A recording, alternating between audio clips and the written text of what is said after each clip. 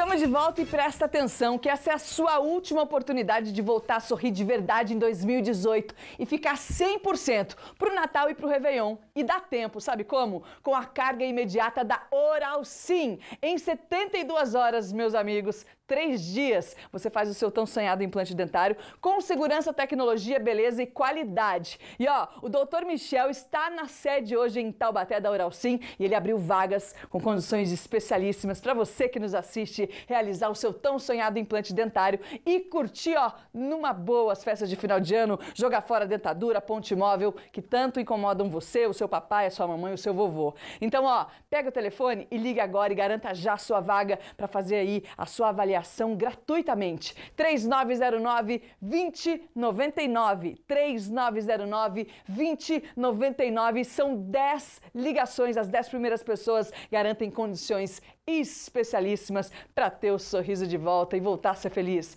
Mas liga mesmo, hein? Na, valendo aí então para a Unidade Oral Sim em São José dos Campos e Unidade Oral Sim em Taubaté, você de todo Vale e Litoral podem ligar. O número é o mesmo, 3909 2099. Vem para a Oral Sim, a especialista em implantes dentários que você pode confiar. Três dias fica pronto, hein, gente? Oh, que coisa chique!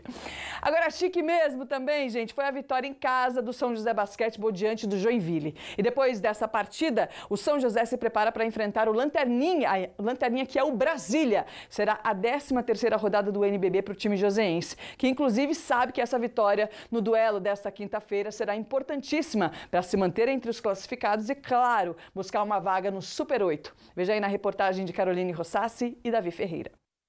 Se tem uma palavra que resume o clima nos treinos do São José Basquete agora, é alívio. A equipe finalmente recuperou a moral. Depois de cinco derrotas seguidas no NBB, nos últimos jogos contra Corinthians e Joinville, as duas vitórias vieram. Resultados que serviram para o time avançar da 12 para a décima posição da tabela. É lógico, né? Com duas vitórias, né? O, é outro astral, é outro, né? Então isso, vitória é bom em qualquer momento, né? Interessa de quem contra quem for. Ainda mais com os concorrentes direto, isso é um, tem um peso a mais lá na frente na classificação. E a busca pela terceira vitória consecutiva depois da má fase será na última partida da equipe pelo NBB do ano. O adversário será o Brasília nesta quinta-feira em casa. Mais um jogo que o time não vai poder contar com o Ala Schneider, que lesionou a coxa e, enquanto se recupera com fisioterapia, vai ficar afastado das quadras. A previsão é que o jogador retorne às disputas só no ano que vem. É ruim, né? A gente quer sempre estar participando dos treinamentos, tanto dos jogos. Agora, infelizmente, tem que ficar um mês, um mês e meio mais ou menos afastado mas infelizmente faz parte né, do esporte. A gente nunca sabe quando pode acontecer uma lesão. Então, o negócio é tratar agora para melhorar e voltar bem. Não vai ser eh, a primeira vez. Não é a primeira vez que estamos com um jogador machucado.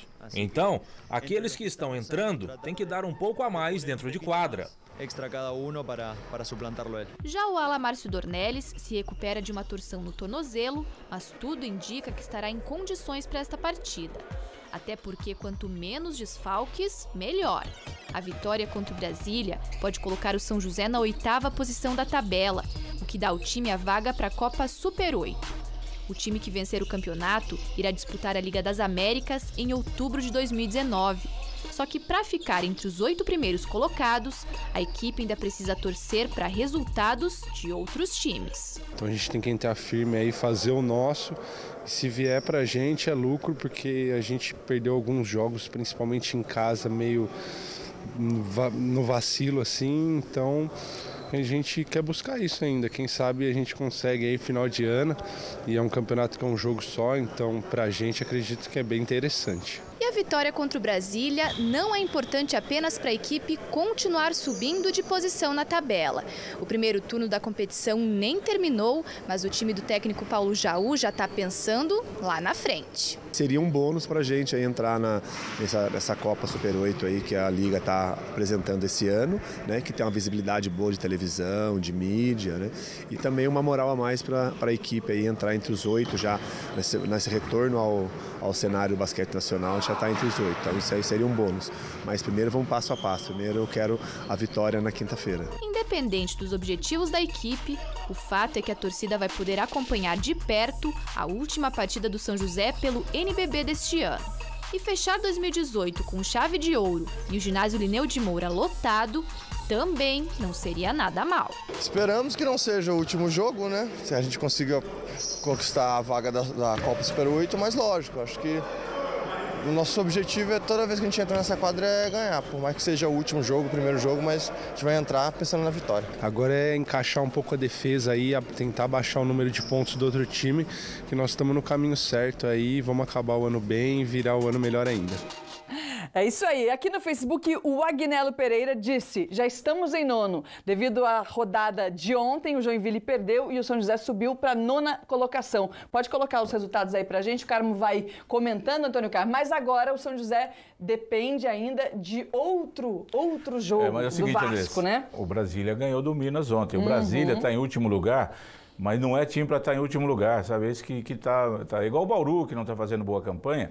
Só que tem um detalhe: o Brasília tá com, recebeu um americano lá que está uhum. jogando bem, o Brasília ontem ganhou bem. Bobo, não, né? esse jogo de São José quinta-feira não é porque, porque é o lanterna do campeonato, tem que ganhar. Sim. Mas vai ser complicado, não vai ser fácil. Agora, em termos de classificação, é interessante, né? Sim. A gente fala muito de futebol aqui, que é dinâmico, é rápido as mudanças. Claro que no basquete também.